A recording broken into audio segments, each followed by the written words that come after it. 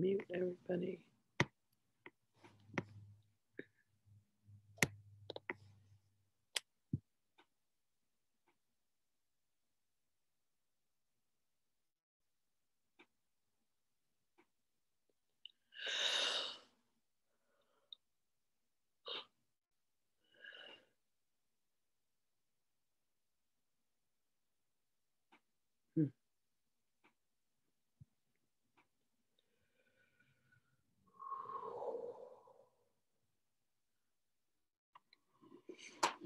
Greetings, beloveds. Hmm. Hmm. It is humorous to us to look down and to see.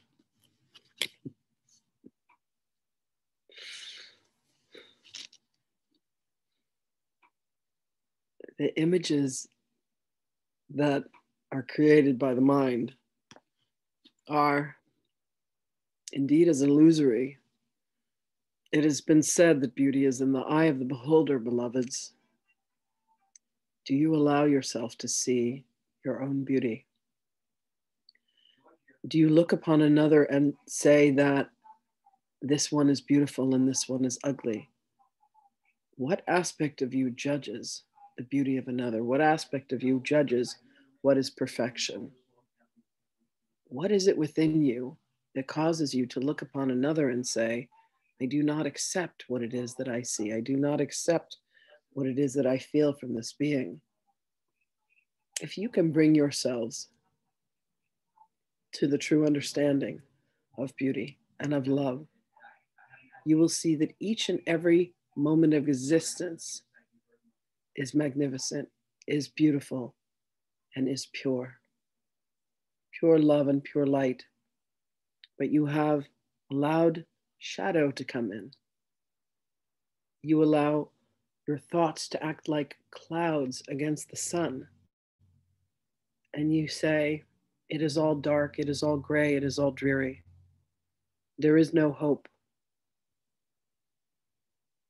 And you are, of course, kidding yourselves. So it is with beauty. Can you listen with an ear to hear the love that comes through in the words that are being spoken. As you all make your way through this journey together, as you speak the words that were spoken through our beloved as he channeled us, you allow yourselves to have the experience of having my presence be with you. Find courage, beloveds. You will not be judged, you will be loved. You will be appreciated for the gifts that you give by speaking our words. And if you find that you must flow into more than one month so that all may have an opportunity to speak, allow this to occur. Do not be rigid with each other, beloveds. Allow yourselves to find joy. Look for and seek happiness. It was spoken to drink more water, especially for those of you who do channel beings of higher frequency. Allow yourselves to stay supremely saturated for there is a sense of dehydration that is indeed existent in many of you. Find sources of water with higher frequencies. Send love to your water before you drink it. Bless it. Bless what you eat. Bless what you drink. Bless what you wear. Bless where you live. Bless what you do. Bless what you think. Bless whom you love. Bless whom you hate. Bless yourselves or every time that you bless, every time that you pray for, you send a higher level frequency. Every time that you curse, every time that you malign, every time that you gossip, every time that you complain, every time you have thoughts of revenge, every time that you think something was done to you unjustly, You bring the clouds, you bring the shadow, you bring the darkness, beloveds. Look for the beauty, look for the light, look for the perfection that exists in all things. For they are created with the mind that is the mind of the Creator. What ye seek, ye shall find every single time.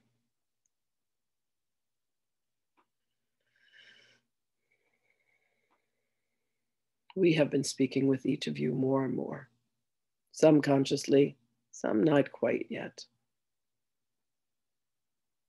You are needed at this time, beloveds. It is necessary what it is that you are bringing through with your consciousness. There has been a ramping up, if you will, of energies. And it is necessary for you to bring to the forefront the best of you.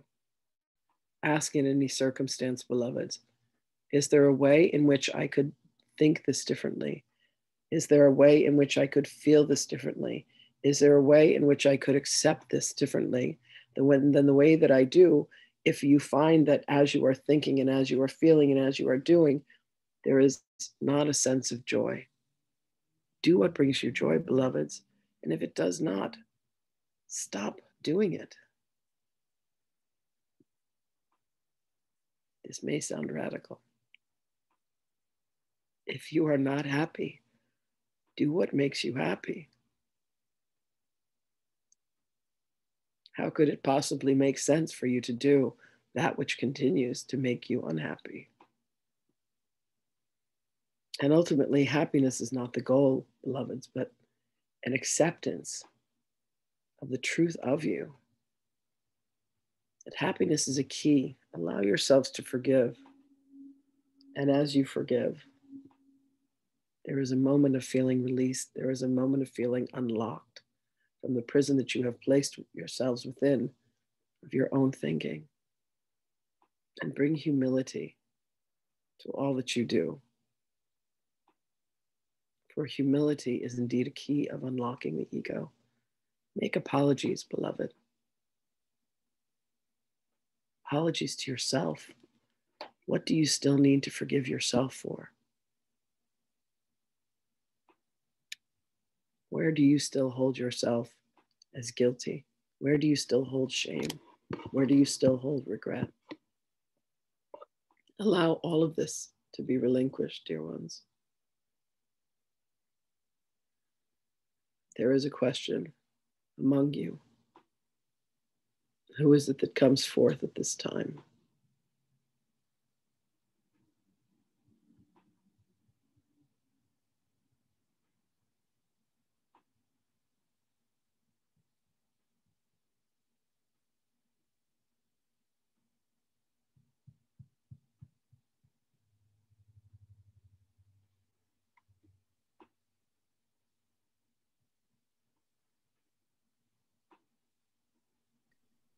Can I ask a question, Jesus?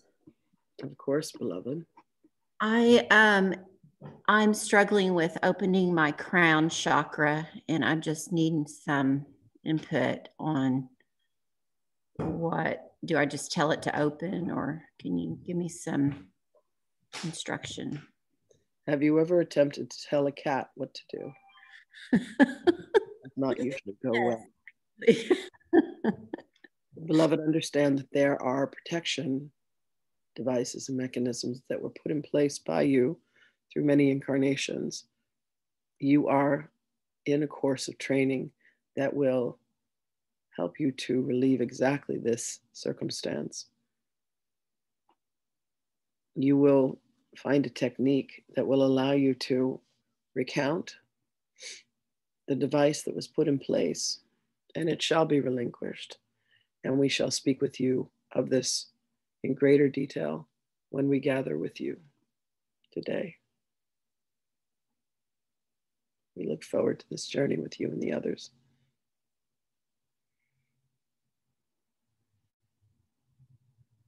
Add more love, beloved. The greatest solvent that you have for the undoing of any dynamic where you feel yourselves blocked, where you feel yourselves thwarted, where you feel frustration, is to surround this circumstance with love, whatever it is. It is much like adding light, and the light will indeed dispel the darkness. Send love to your crown chakra, beloved. Know that it has been protecting you from what you perceived as harm. And when you grant yourself back the mastery with the full use of your God given abilities, when you understand the true use of the energy centers that are called the chakras, as Lynn and I have been playing with the cards and the mudras, you will be given techniques, you will be given tools that have been tried and true for helping each of you to have full facility of how to direct light through each of the energy centers within your body. As they start to begin to transfer into the crystalline state from whence they came, you will find that there is indeed a cleansing and a balancing that will be necessary. Add more love, beloved. Breathe light into and through each of these centers. There are many more than just the seven that exist within the human physical structure but it is through the recognition and the blending and the balancing of these that you shall come to find the highest resolution of consciousness. Add more love. We thank you for your question, dear one. And we leave you all with the words of love, knowing that we are indeed where you are at each and every moment, beloveds. You need only turn to us for guidance, for counsel, and for direction. Allow yourselves the moment to pause and release yourselves from the constant chronic egoic thinking through which you extend your existence. And allow yourself to pause and ask Call upon us, call upon the Holy Spirit, call upon your higher self, something other than the nattering, chatting mind that you have starved. It is an aspect of loving every aspect of you that will grant to you the peace. It is not about fighting the ego, beloveds. It is about taming and training the ego, the mind that is being trained through the steps of the lessons. Our beloved has begun a journey with this beloved oracle. The words that she is bringing through has love painted all over it. Allow yourselves to listen. Allow yourselves to paint yourselves with a brush filled with golden light and love, for that is indeed the truth of you. And in that moment of recognition, you will truly come into yourselves as the godlike beings that you are.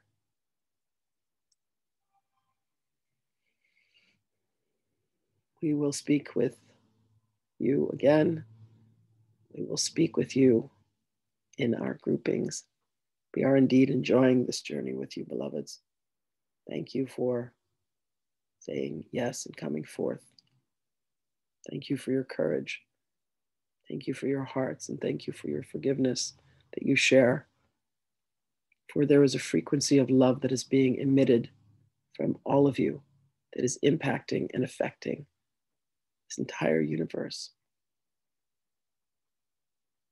there will come a moment of recognition when you will come to see the truth of who you are. And you will smile. You will giggle with glee to recognize your own true countenance. We love you. And we will speak with you again.